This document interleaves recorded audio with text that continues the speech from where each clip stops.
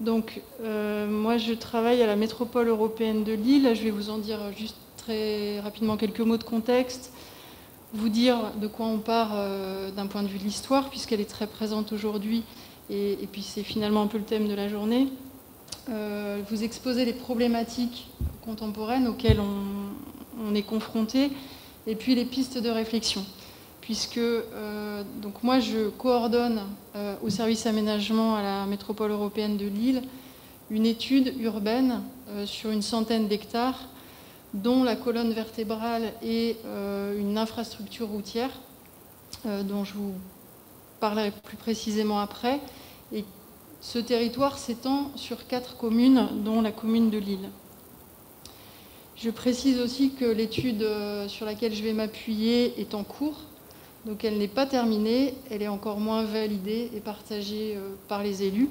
Donc tout ce que je vous expose euh, aujourd'hui, ce sont des pistes de réflexion. Pour ceux qui ne connaîtraient pas euh, la métropole européenne de Lille, c'est plus d'un million d'habitants, 95 communes, à la fois très urbaines et d'autres très rurales. Une densité, ça je le dis parce que c'est important pour la suite, c'est une densité très forte en termes de, population. Les compétences de la métropole, c'est assez classique, mais c'est juste pour vous dire qu'en gros, on a tous les leviers à la métropole européenne de Lille, normalement, pour aménager le territoire, pour faire du projet urbain. Une petite carte euh, pour, euh, encore une fois, ceux qui ne connaîtraient pas, pour vous montrer que Lille et sa métropole est un, carrefour euh, en termes de flux. Euh, carrefour européen, euh, à la fois ferroviaire, on est à une heure de Lille, une heure et demie de Londres, 38 euh, minutes de nos collègues de Bruxelles, mais on est aussi un carrefour routier très très important.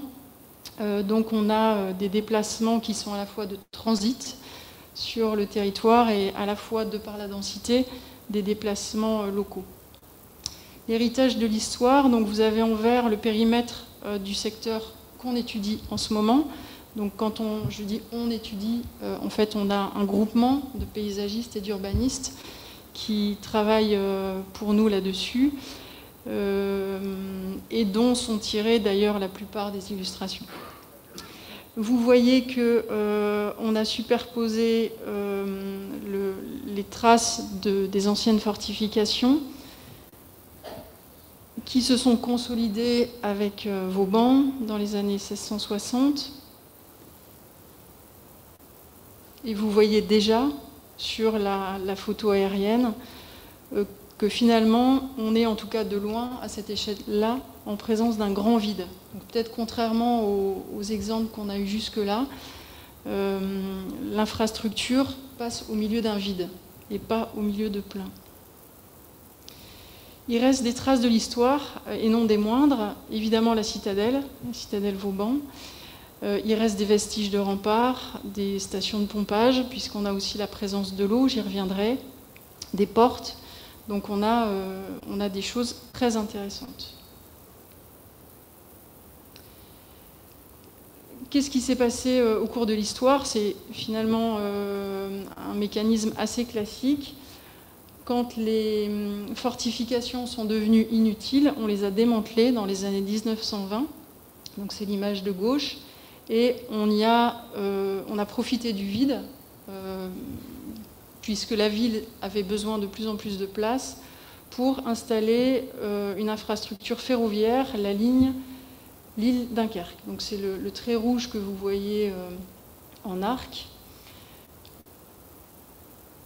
L'étape 2, donc l'image du centre, c'est dans les années 60 on a adjoint euh, à cette euh, première infrastructure ferroviaire, cette fois une infrastructure routière, de nature autoroutière même. J'y reviendrai après. Et la troisième étape, et c'est la situation actuelle, on a démantelé la, voie ferrée initiale, mais on l'a remplacée par le TGV, qui finalement, euh, accolé à cette infrastructure routière, recrée une fracture qu'on aurait pu euh, penser combler en démantelant les fortifications, euh, et finalement pas du tout. Donc ça, c'est une image un petit peu résumée pour vous donner un ordre d'idée en termes d'échelle, puisque à Bordeaux, j'ai entendu que vous raisonniez sur 20 km de boulevard. On n'est pas du tout à cette échelle-là. le tronçon qu'on étudie, l'arc, d'est en ouest, fait 1,5 km. Donc on est sur quelque chose de tout petit par rapport à vous. mais néanmoins vous allez voir euh, assez stratégique. Je ne vous ai pas situé les, communes, mais euh, j'aurais dû le faire. Euh, vous l'avez peut-être deviné, compris. En fait, ce qui est... Je vais reprendre l'image d'avant. Voilà, ce qui est compris finalement dans les anciennes fortifications, c'est la ville de Lille. Donc l'île intramuros. Et ce qu'on a de l'autre côté, on a la Madeleine en vis-à-vis de l'autre côté de, ces anciennes fortifications, la ville de Saint-André-les-Lilles, et puis quand on se déplace vers l'ouest, la ville de Lambersart. Donc c'est les quatre communes qui sont concernées par ce périmètre d'études dont je parlais au début. Les problématiques contemporaines. Euh, ce, morceau de territoire qu'on étudie, c'est 100 hectares, dont la colonne vertébrale et l'infrastructure. Si on dézoome, vous vous rendez compte que donc on est entre les deux points rouges. Vous vous rendez compte que euh, finalement, on n'a pas bouclé le, projet initial. Euh, on le devine assez bien finalement. On est sur un périphérique qui, d'une certaine manière, se termine en impasse. Donc quand on, arrive du sud, c'est l'autoroute A1, l'autoroute de Paris. De l'ouest, c'est euh, l'autoroute de Dunkerque.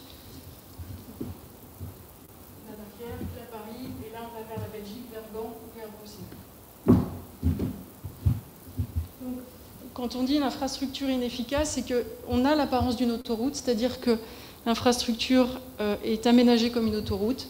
Euh, elle a une emprise de, un profil de 23 mètres d'emprise, des glissières de sécurité, des bandes d'arrêt d'urgence. Vous en avez un extrait là. Et pour autant, non seulement on finit en impasse, mais en plus, entre les deux points rouges, on a des carrefours à feu. Et finalement, le point rouge que vous voyez le plus à l'est, c'est quasiment, enfin c'est même euh, en réalité le premier carrefour, le pardon, le premier euh, oui, carrefour à feu en venant de Paris. On, tombe là-dessus si on va tout droit. Donc vous avez le, profil en bas, vous voyez tout le, vocabulaire autoroutier. Je l'ai dit, on est sur une distance de 1,5 km. Euh, cette infrastructure, elle est relativement inefficace puisqu'elle est limitée aujourd'hui à 70 km/h mais on se rend compte qu'aux heures de pointe, de toute façon, personne ne peut être à 70 km/h et que euh, quand ça roule, le gain de temps euh, entre 70 km/h ou 50 km/h, si on réduisait, est d'une trentaine de secondes sur cette portion-là, ce qui est assez négligeable.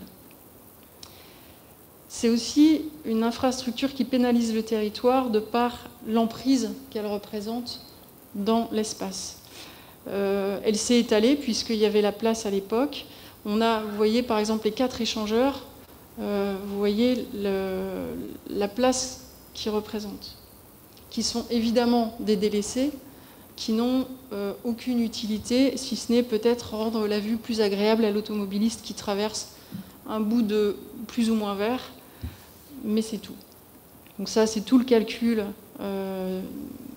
des délaissés. Vous voyez, on a, en gros, il faut retenir que sur les 100 hectares qu'on étudie, on a 30% de tout cet espace qui est dédié à l'infrastructure. Cette infrastructure, elle pose aussi aujourd'hui euh, des problèmes, euh, et de plus en plus, en tout cas, c'est de plus en plus une revendication citoyenne, et ça, c'est pas euh, strictement lillois. donc on a toutes les études qui montrent que, évidemment, on s'en doute, c'est un, secteur qui est très pollué. C'est un secteur bruyant, de jour comme de nuit. Et en plus, c'est un secteur où la topographie est très chaotique, puisque euh, on a d'abord démantelé les fortifications, ajouté l'infrastructure euh, ferroviaire, installé un périphérique, un morceau périphérique, et puis finalement la LGV. Et donc en plan, ça ne se voit pas, mais quand on est sur site ou aux abords, on n'a absolument pas de lisibilité, euh, puisqu'on a des, fractures aussi topographiques assez marquées. Pour autant, euh, et c'est ce, ce sur quoi l'étude insiste, on est sur un site avec un potentiel incroyable. On est, euh, donc vous avez on est finalement dans le prolongement de la citadelle et tous les morceaux, les aplats euh, un peu beige que vous voyez, c'est des, morceaux d'espace vert qui existent et qui parfois révèlent une biodiversité particulièrement intéressante, notamment du fait de la présence de l'eau. Donc on n'est pas sur un fleuve aussi majestueux que la Garonne, mais on est sur la Deule canalisée qui passe euh, là le long de la citadelle et dont on retrouve un bras mort qui, entre dans la ville. On est aussi sur un site stratégique parce que euh, on sent bien, ce site il est en train de bouger. Ce secteur il est en train de bouger, euh, il est en train de se miter. On avait un grand vide, on a finalement, là on sait, j'y travaille par ailleurs, euh, un palais de justice qui va s'implanter, donc c'est un équipement quand même important. On a, euh, ça c'est côté Lille, côté la Madeleine, on a le projet du tir à l'arc, avec des, qui est un projet tertiaire, qui va arriver aussi. On est sur la partie assurée, là que vous voyez en bas à droite, euh, c'est tout le secteur de Ralille et des gares. Donc, pour vous situer aussi, on est dans le prolongement de ça. Donc, en résumé, on est sur un secteur avec une infrastructure qui est écrasante. Euh, par ailleurs, on, sait qu'on a besoin de place, d'autant plus qu'on est tout près. Donc là, je, zoome sur les quatre villes, euh, les petits aplats euh, en rond là. C'est quasiment les centres-villes des villes. Donc vous voyez, on est à, on est un quart d'heure à pied depuis cet axe-là du centre-ville de Lille, de la grande place de Lille. Pareil pour la Madeleine, Saint-André et Lambersart on a tous ces vestiges euh, de l'histoire, on a un potentiel d'espace aussi incroyable alors qu'on en manque cruellement, et on a cette qualité euh, écologique. Donc finalement, le raisonnement de notre euh, groupement, c'est de se dire qu'il faut se servir de la transformation de l'infrastructure pour transformer ce territoire. Puisque finalement, on a parlé beaucoup d'usagers ce matin, euh, dans des zones comme ça, on développe très peu d'usages. Parce que c'est désagréable, parce que c'est infranchissable, parce qu'on ne sait pas où on est, on ne sait pas y accéder. Euh, ou alors évidemment se développent les usages euh, plutôt illicites ou qu'on ne peut pas développer ailleurs et qui posent aussi des problèmes. Donc en fait, la donnée essentielle de l'étude, c'est de dire si on réduit la vitesse autorisée de 70 à 50 km/h, on peut gommer tout ce qui est euh, élément autoroutier. On peut supprimer les glissières de sécurité, on peut supprimer les bandes d'arrêt d'urgence, on peut supprimer les terre-pleins centraux. Et toute cette emprise qu'on gagne, on la récupère et on la redonne à d'autres modes de déplacement. On la redonne euh, au vélo, aux piétons et aussi à un site propre. Alors il se trouve qu'au cours de l'étude, la métropole européenne de Lille a voté, euh, mais je pense comme à Bordeaux Métropole aussi, ce qu'elle appelle un schéma directeur des infrastructures de transport qui, en gros, a décidé que passerait un TCSP, alors tramway ou pas, mais en tout cas TCSP, sur cet axe. Donc avec les 23 mètres d'emprise, actuellement euh, en haut, comme c'est aujourd'hui, on pourrait passer à euh, un profil qui euh, rend déjà l'infrastructure à d'autres usagers que les automobilistes. L'autre point d'appui du bureau d'études, c'est de dire cette infrastructure qui est aujourd'hui une fracture, il faut qu'elle devienne un lien, et un lien métropolitain. Et donc il faut aussi qu'on travaille les franchissements, les carrefours et la topographie. Donc l'idée c'est de remettre à plat, vous voyez aussi la différence entre les deux, et c'est de sécuriser les passages. Et réduction de la vitesse doit aussi permettre ça. Une fois qu'on aura fait ça, on peut développer un tas de choses qui sont liées à tout ce que je vous ai dit avant. Donc c'est euh, donner corps, amplifier ce qui existe déjà, mais aussi relier tous ces espaces plus ou moins de nature qui préexistent. C'est de la nature, mais c'est plus que ça. C'est aussi euh, un arc de loisirs, de détente, où on peut révéler le patrimoine. Donc ça, c'est des, des idées et des propositions. On peut aussi, en restructurant cette infrastructure, s'en servir comme euh, moyen de gérer les eaux pluviales, qui est un, gros souci aujourd'hui, pour éviter en gros que euh, toutes les eaux pluviales de cette infrastructure qui aujourd'hui se déversent dans les milieux naturels quand il y a un trop plein, euh, soient tamponnées et puis resservent ensuite.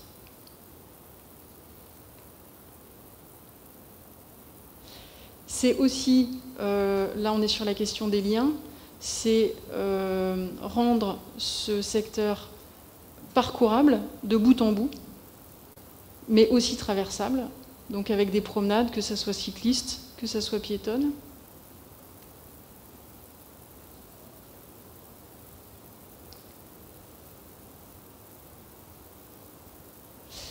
C'est euh, finalement dans l'idée du bureau d'études, l'idée serait de prolonger la citadelle, qui est aussi euh, un, poumon vert incroyable, par tout ce, chapelet de parc qui peut se prolonger.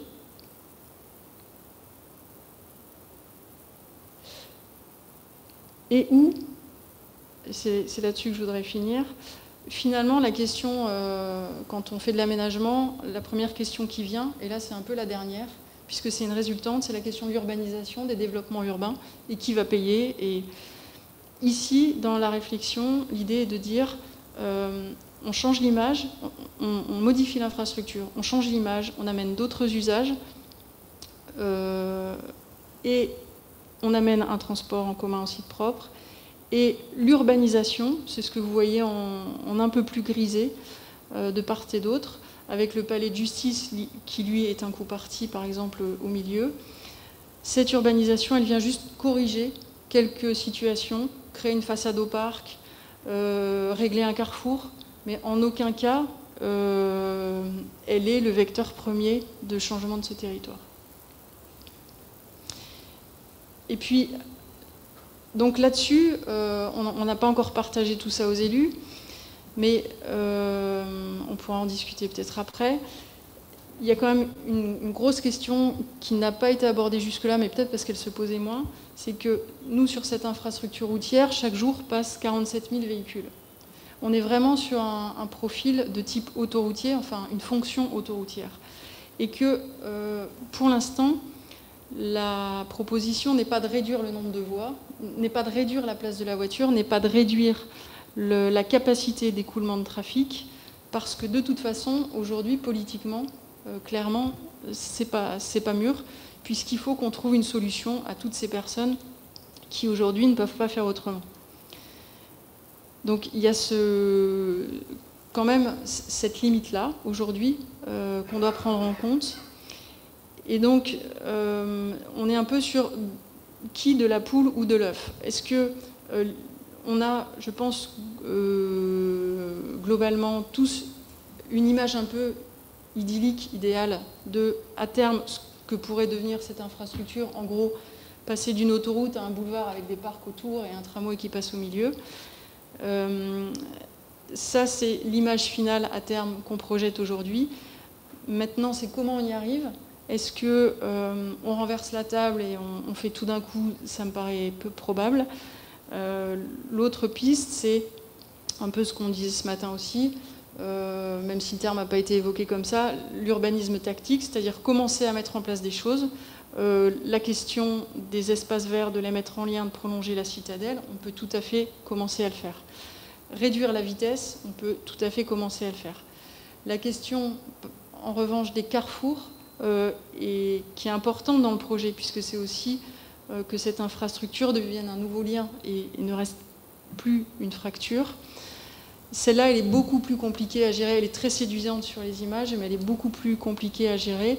Quand on commence à faire des études de trafic, on se rend compte que dès qu'on ajoute un carrefour, euh, en fait, on, complique, on crée des remontées de fil et on complique le trafic et on l'aggrave encore.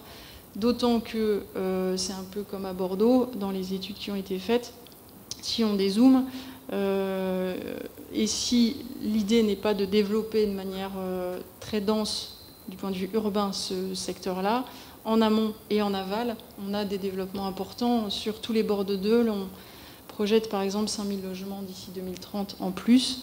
Bon, ça va faire du trafic. Euh, des ponts sur la Deule, il n'y en a pas 50. Donc, à, un moment, cette infrastructure, la limite, c'est qu'elle est vraiment un, trait d'union entre l'Est et l'Ouest de la métropole, dont aujourd'hui on ne peut pas se passer.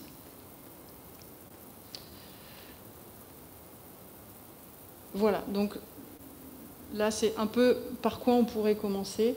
Euh, des premières pistes d'aménagement qui ne sont pas très chères, qui ne sont pas très compliquées, et qui pour autant euh, permettent de commencer à changer l'image.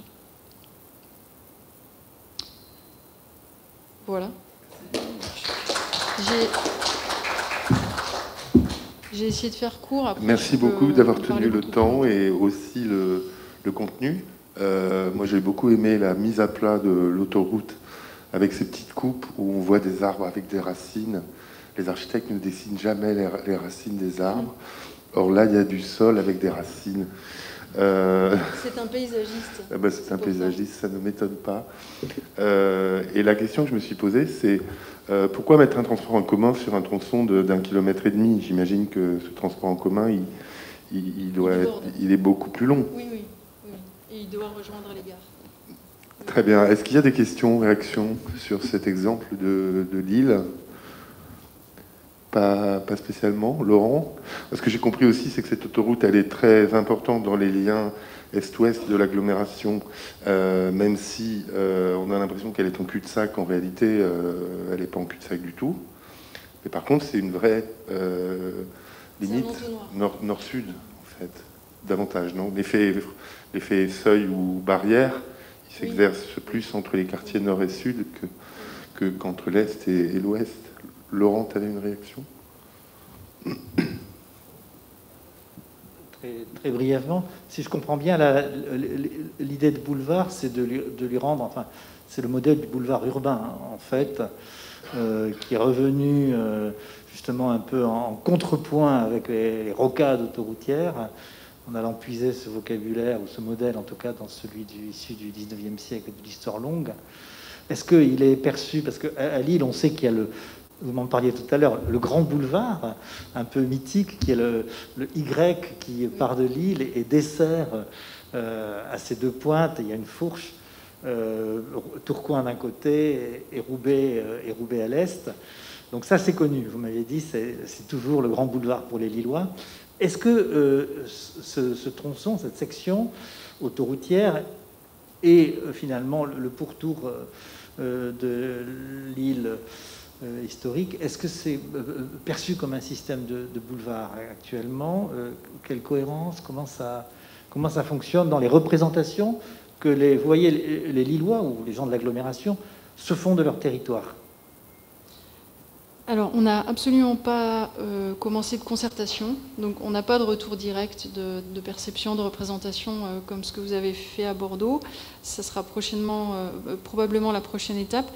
mais euh, quand même, en tout cas je peux parler pour nous, euh, même techniciens, euh, urbanistes, qui connaissons quand même un peu ce territoire, enfin qui pensions le connaître, on s'est rendu compte quand le bureau d'études nous a rendu son diagnostic que c'était un, territoire finalement très peu connu. Parce que à part y passer en voiture, mais comme on passe dans un tuyau pour aller d'un point A à un point B sans s'arrêter là, euh, on a très peu de, représentations.